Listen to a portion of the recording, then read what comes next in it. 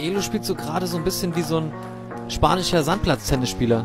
Topspin einfach rein Aber, aber und es klappt. also ich 7 muss, zu 2. also das ist gerade ein Spiel, wo ich Abu irgendwie selber nicht wiedererkenne. Er spielt ungern gegen Leute, die Ja. kein Tischtennis spielen und Maelo spielt, er ja, spielt Tennis. unangenehm, ich weiß, das Spiel, ja, Er spielt hier äh, Spielt Roland Garros. ja, da ist er, guck mal, da war die Rückhand. 4-8. Oh, das sind genau diese Momente. Man muss es dann auch nochmal gehen, weil man das Gefühl hat, dann, oh, krass, okay.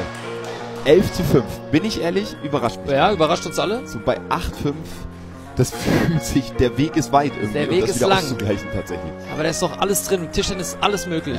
Kommt er zurück und Der das ist braucht drauf. er. Das ist die Rückhand, Das die er sind braucht. die Bälle, die Abu jetzt braucht. Maelo verlässt sich auf seine Defense-Kunst und das macht er wunderbar. Auch den spielt er wieder hoch. Der Oh. kommt drauf. Oh. Ganz stark jetzt von Maelo und Abu kam nochmal zurück. Muss natürlich jetzt ruhiger spielen, Risiko. Und das Und ist tatsächlich ist es soweit. Eine Riesenüberraschung.